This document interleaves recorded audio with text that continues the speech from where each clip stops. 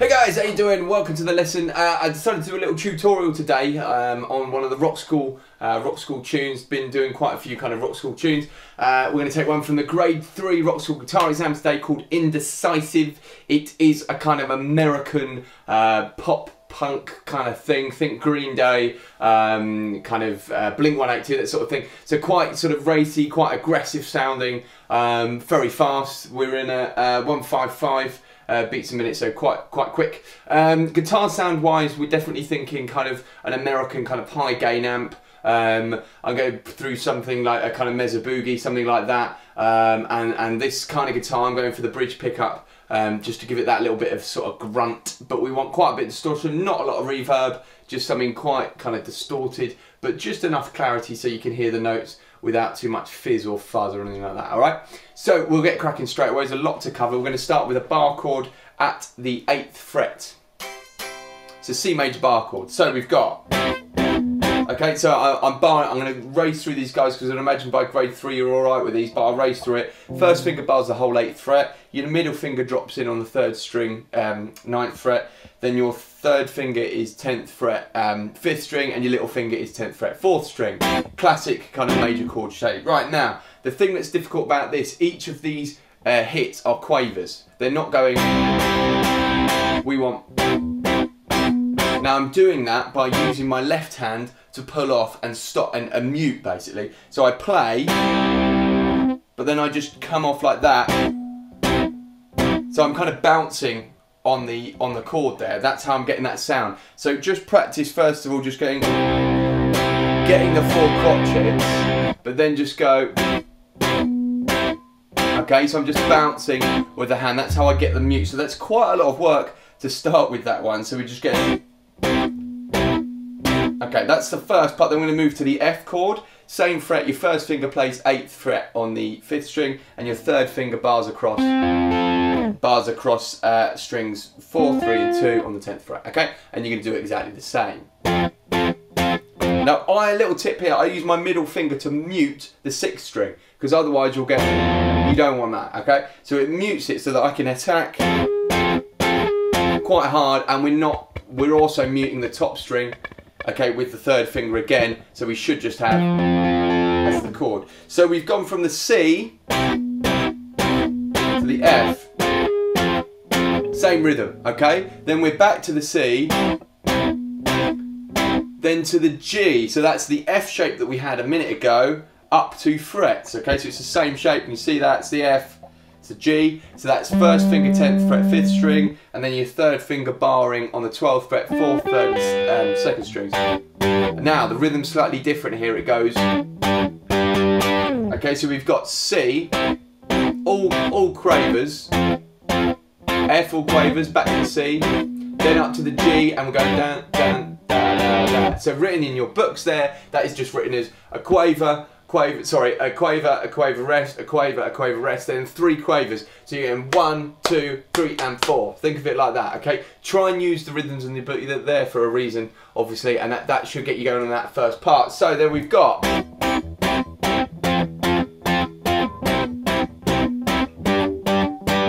Next line slightly different, a bit of a variation, same chord. That C chord again, we're going to get the same rhythm. Then we're up to the F, this rhythm's different. Okay, so that's going one, two, three, and four. Then we're back to the C, and again a different rhythm there. C, so one, two, and three, four, and then we jump pretty quickly to the G and just stab it on beat one for the for the for the quaver. Okay, so that second line. F, C, whole thing together from uh, bar one. F, C, G, C, F, C, G. Okay, so that's your whole uh, A section covered. All right, so that, that's basically a lot of chords going on. Remember the muting, all things like that. You've got to be really aware of that kind of thing, especially at this level. The left hand muting's uh, got to come into it, okay? So work on the chords first, then worry about the rhythm. So those chords have got to be, you know, nice and clear. Every note ringing throughout. That's really got to be really got to be in there. Otherwise, you're really going to struggle. Right, we're going to rattle through B section. Okay, so we're starting with the third fret on the fifth uh, fifth string, and we're going one, two, three. Okay, that's the little riff. Now you'll notice that that second part is palm muted. So from kind of the end of what we bar nine, okay, where we're going, so we're starting with a three, then we're going three again on the fifth string, up to the fourth string, second fret, back to the um, uh, third third fret, fifth string, so dun, dun, dun, dun. Okay, then down to the low G on your sixth string, and two of those as quavers. So the first one isn't palm muted, but it's short. Then you hear that palm mute. Then from there we just go three, three, one on the thick string. Okay, so two, three, four, and one, two, three, four. Beginning of the final bar of that line, so that's bar, oh, bar 12. We're up to our fourth string, all right, and we're playing three, two, three, two, three, five on that fourth string. So I play with my third and second finger, three, two, three.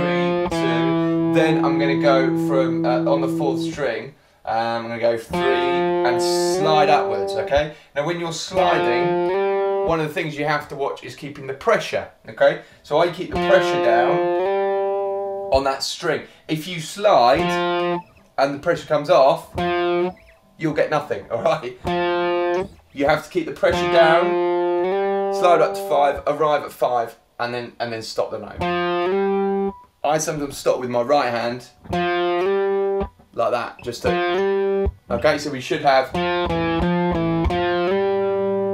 Okay, and that lasts for the rest of the bar. So we've got one, so I'm going from bar nine. One, two, three. Two, three, four, and one, two, three, four, then. Okay, that takes us to the end of that line. Then we're on to the next line. Oops, sorry. Uh, so that's bar 13. Okay, very similar. Again, we're starting with the three. Okay, same rhythm for the next bit, but different different notes. So this this part, so I'm talking the end the end of bar 13. We're going three on the fifth string, okay. Then we're going zero on your fourth, then uh, two on your fourth. Then we've got a jump up to fifth fret on the fourth string. C major, well, sort of arpeggio with a D in it. Okay, so now one of the things that I chuck in there is actually instead of that note, you can hit your open third, which is a G, of course. Okay, so instead you can get instead of things like that in the exams, you, you're fine to try out. There's, there's no problem with that as long as you're playing the notes. If you're playing them in slightly different fingering position, that's fine as long as you, you're playing the notes. So that would that would be allowed, guys. All right. So I'm going to stick with what's written for now, though. So three, nil, two, up to number five. Notice how I'm in third position there, i.e. my first finger's rooted around there, because then I'm going to go fifth fret, fourth fret on um, third string, then down. I move that down to second fret. Now, squiggly line, it's vibrato, right? You might have come across vibrato before.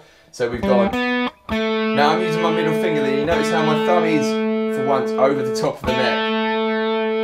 And we're just gonna try and ever, don't do that. It's not that.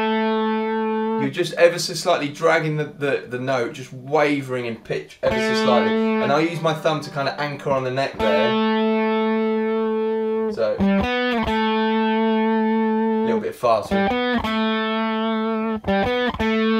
So we got, I'll play those bits together. Sorry, with the palm mute. Okay, then from there we're up at fifth position, okay? We're going to get this. Okay, so I'm at fifth position, middle finger, sixth fret, second string. I'm to go six, down to the five, back to the six, back to the five, so da da da da. Then with my middle finger, I'm to slide from six to eight. Okay, and again that same thing. You can hit rhythmically. We've actually got um, that that so you, this note's a quaver to a dotted crotchet. So I'll play all of that sort of second section. That's that's from bar 13. Here we go.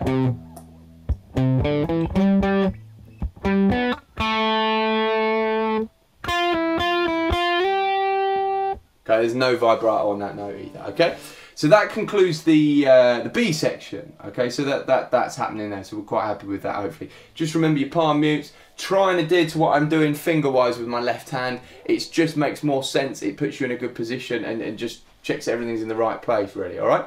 So that's cool. Good. Next section, we've got some double stops. We're going to start at um, first fret, third. Um, sorry, first finger, third fret on your top string and your third finger on the fifth fret of the second string, all right? And that is going.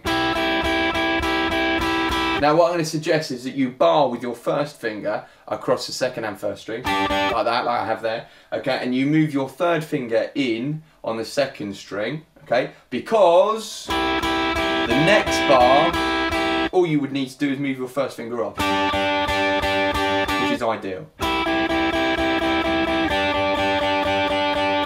Now that that then moves up two frets, okay, where you put your first finger on the fifth fret of the first string and your middle finger on the um, sixth fret of the second string. And notice how we're filling the whole bar here. We've got we've got basically eight eighth notes. So we've got the whole bar. So we're thinking one, two, so one and two and three and four and one and two and three and four and one and two and three and four and then that shape we have. So this is going to bring you to bar uh, 20 move that current shape up two frets like that, all right? And that's going to go, so we're going to have seven on the first string, eight on the second string, and we get... So just think of that rhythm, just two two quavers and a crotchet, coffee tea, coffee tea if you like. Okay, so we got... Let me do that again.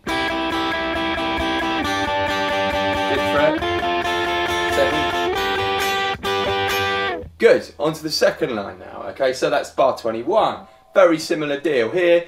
Wouldn't worry about barring, you don't need to. However, first finger's going to go, obviously, third fret um, top string. Third finger's going to go fifth fret second string. You're going to do um, eight of those. Now, this is the chain. Middle finger drops in on the um, fourth fret of your first string. Highlights a kind of E major chord there, the G sharp. Then that shape moves up with your third finger onto seventh fret on the second string, and your first finger jumps in um, first fret on the sorry fifth fret on the first string. So we've gone from this three and five, five and four, slide up. That then puts us in position for the next part. You're going to have your middle on your second string go six, five, six, five, six, eight, as we did before in bar 16. Alright, so we got, so I'll play from bar 21.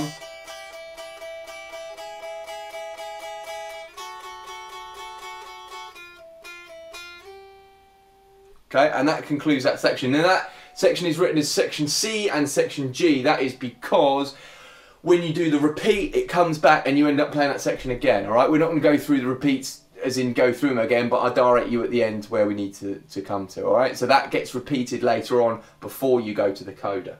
Right, we're on to section D. Section D, the good news is that I think to my memory is exactly the same, let us just check, as section B. So you got your palm in, and then down to on the sixth string, to, with the slide, remember? Back to the C.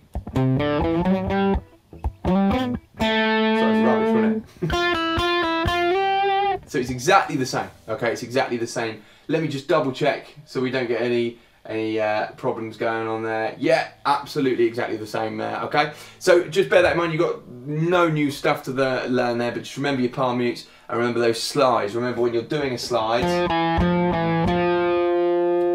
you keep the pressure down so you're not getting...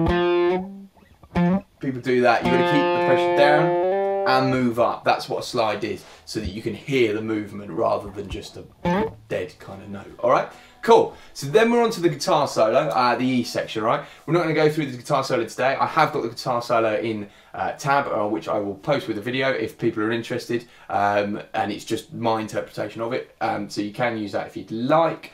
We then, coming out of the solo, this is where it gets a little bit tricky. So, coming out of the solo, bar 37, we've got this. That's the first part.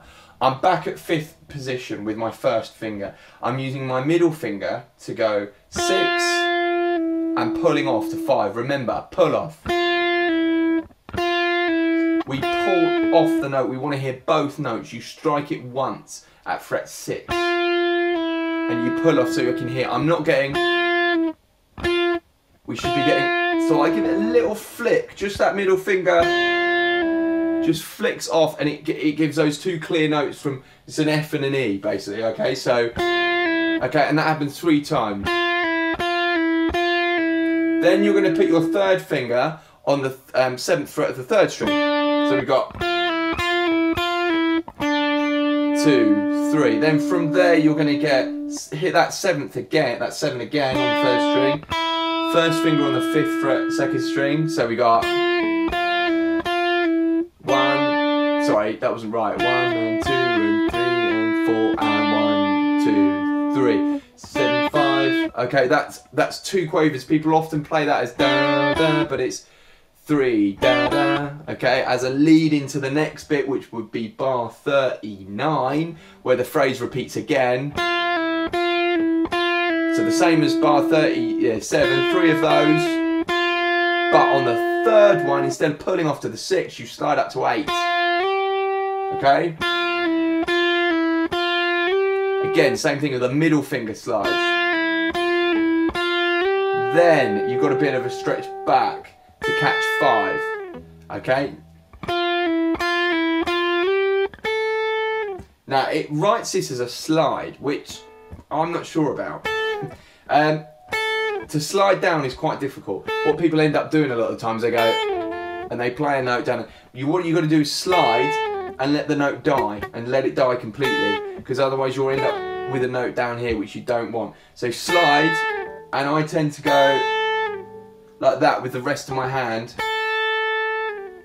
and just let it mute and it, it, it kind of works and it kills the note enough so that you're not stuck with some awful note that's not in key, alright? So that part...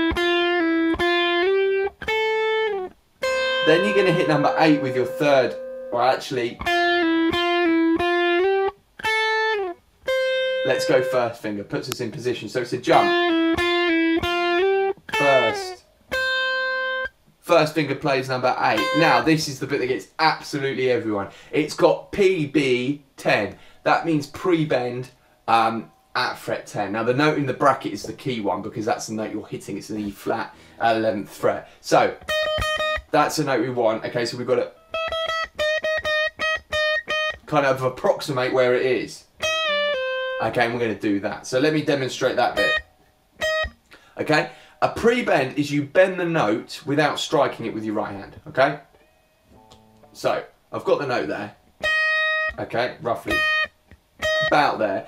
Then I strike it and I pull down. Instead of bending up, you're coming down. Then you pull off to eight. Now, all the time, what's good to get in the habit of is muting with your right hand. So with my right hand, I'm kind of stopping the second and third strings from doing anything just purely by having them across there. And then I pull off and I've got eight rather than having, you know, that kind of thing. And all the notes could ring and you've got loads of gain on it. it sounds really ugly, all right? So remember, we've got, we've gone from eight. We're going to use the third finger to bend, pre-bend up now you're not doing a full, like, whole tone bend, it's semitone, so it's only kind of half what you would bend correctly anyway. Third finger bends up, you strike the string, pull down, off to eight, third finger plays 10th fret second string, and then your first finger ends back on 8th fret first string. So that's... Okay, so that little bit, if I play from bar 37,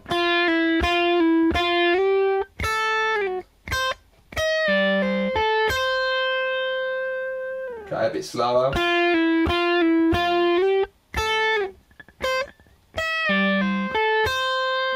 One more time, a bit better than that.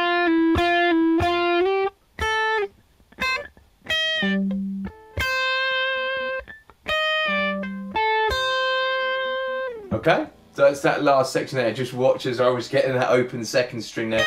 Be very careful with the right hand not to let that ring. And again, try practicing with your amp turned on so you can really hear it.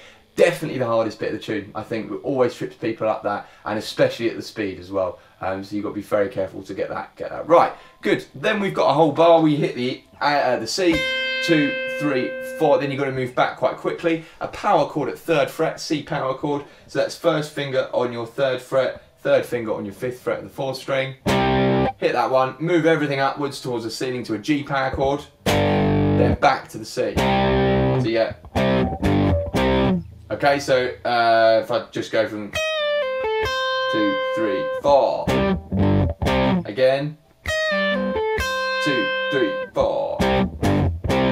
Okay, and that's that's that section done there. All right, so again, slow it down, take it through, watch all these slides at grade three. All stuff like this becomes quite useful because it, it, it's it's kind of expected. Your lead playing, you need to be able to put slides in, you need to be able to bend accurately, all this sort of stuff. All right, so we move on now to the bass. We've got the bass and drum solo. Now, you, I'm sure you've seen this first and second time repeat before. Um, so the first time repeat means that we're going to get, um, we're going to go from bar. Let's get these bars. So bar 43 to bar 48. Okay, you're going to play it all the way through. Okay, and then you're going to go back. Sorry, that was absolute rubbish. Ignore that. I'm going to play from bar 43 to bar 46, okay, where we've got the double lines, the end of the first time repeat, then go back to bar 43, play it, play bars 43 and 44, okay, then you're going to jump kind of downwards and play what would be bars 47 and 48, okay, so it's quite, it seems quite confusing, you'll probably just end up playing it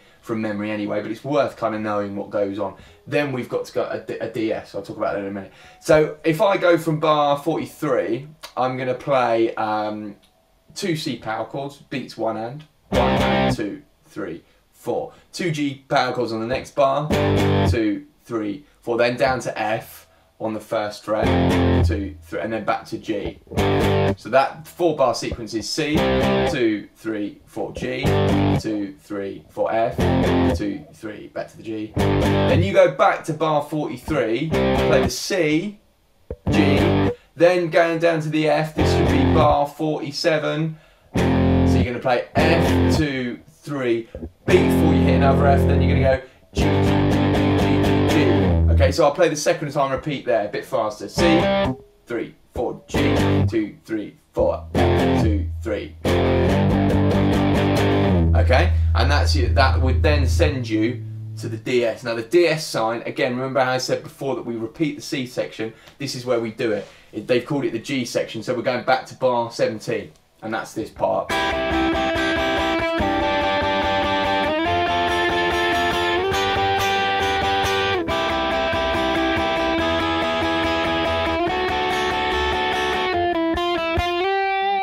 Okay, and that's that section there. That would then lead you, we've already been through that, so I won't go through it again, it's going to lead you to the coda, okay, because it says to coda at the end, which means you've got to then go to the coda, which is bar 49, which is this. First, first finger bars across first fret on the first two strings.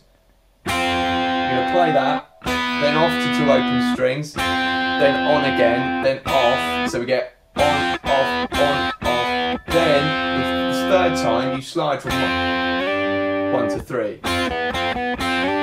And you do that twice, so we get. Then we're going to go up to fifth position for this little scale rundown, C major scale.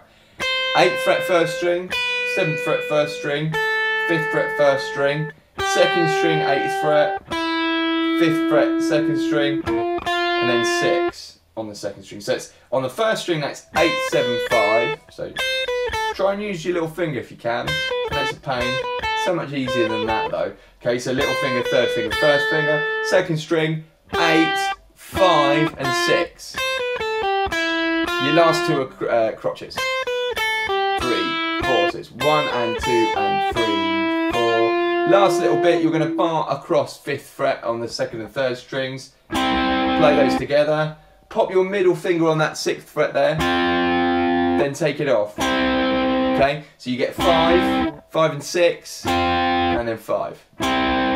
Okay, That's it. Job done. Okay, that's five crotchet rest at the end. All finished. Okay, so that is that's the whole tune in in an exhaustive detail as I think is necessary. Um, your big marks are going to come from obviously keeping in sync with the track. That's the kind of given. Um, the clarity of what you're playing. So those chords need to sound obviously on a filthy sound they'll sound a little less clear but if you if you've got that going on you you won't be aiming you won't be hitting the top mark. If you can nail this phrase you know the